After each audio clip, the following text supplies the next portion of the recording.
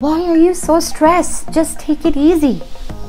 Oh, I have been there where you are. Work is stressful, but you'll get used to it. If you're struggling with your spouse, just end it. Why go through all this stress? We hear these statements all the time because stress is subjective. The point is, people who are already stressed don't need advice. If anything, they're looking for acknowledgement, comfort, support, and someone to confide in. That is what people are looking for when they are stressed. Stress is our body's response to pressure. The body's autonomic nervous system controls your heart rate, breathing, vision changes, and more and more and more. We all go through different stressful situations in life. Everyone reacts differently when they are stressed. Some get easily agitated, some get frustrated, some get overwhelmed, and some just shut down completely. The most interesting thing about stress, which I'm sure a lot of people have experienced, is overthinking, which is my focus today. How many times do we assume about what other people are thinking of us? Or at times just overthink on what may happen. It's not happening, but may happen. Or what if this happens, or what if that happens? What happens when you're stressed out? Let's talk about it because now you're already stressed out. What happens to our body? You go through aches and pain, especially the shoulder.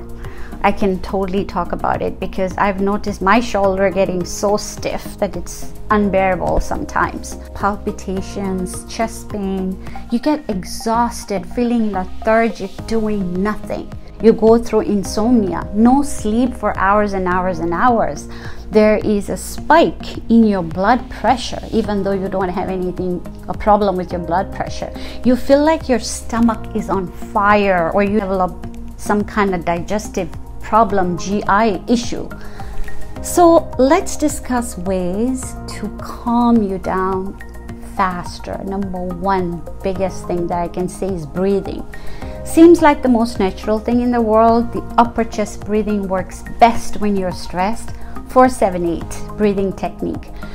Breathe in for 4 seconds, hold your breath for 7 seconds, and exhale for 8 seconds. Repeat, repeat, repeat at least three times, and it works wonders. I can only say that. Number two, shut your eyes and count to 10 slowly or count backwards. It really works. This is great distraction. It helps you forget what's troubling you. It's because it's a distraction.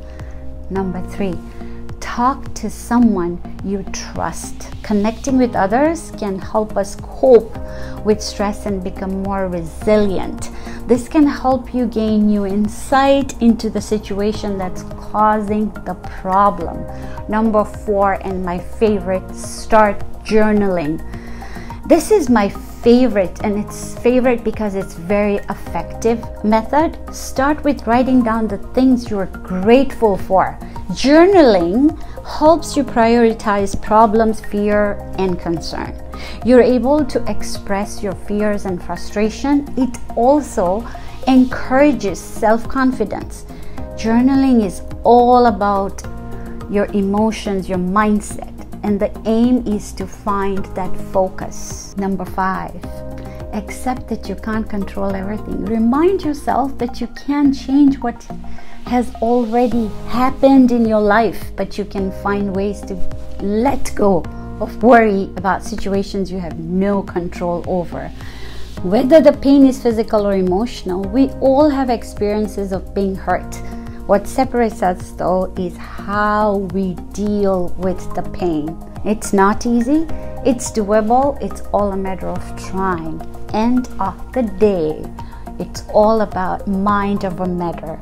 Our brain responds to what the mind tells us.